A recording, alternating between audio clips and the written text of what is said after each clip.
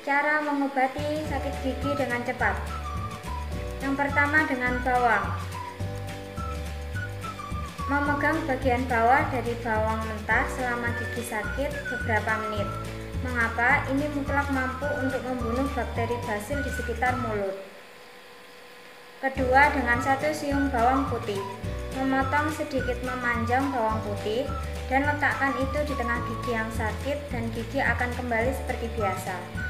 Beberapa orang berhasil dengan mencoba ini.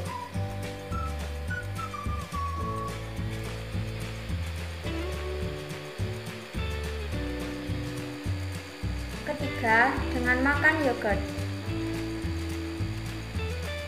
Bakteri basil baik dalam yogurt dapat bertindak untuk menyeimbangkan basil buruk yang dengan sendirinya muncul di mulut. Ini ditambahkan untuk pencegahan. Tetapi, jika Anda tiba-tiba sakit gigi, sebaiknya Anda akumulasikan yogurt ini dalam diet Anda. Yang keempat, dengan jus rumput gandum. Ini adalah obat kumur yang bagus dan saran tindakan untuk kerusakan gigi.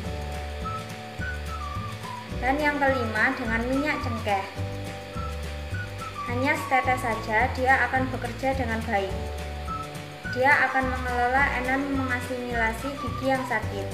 Minyak lubang yang dalam mengandung eugenol, sebuah obat menghilang rasa sakit dan antibakteri.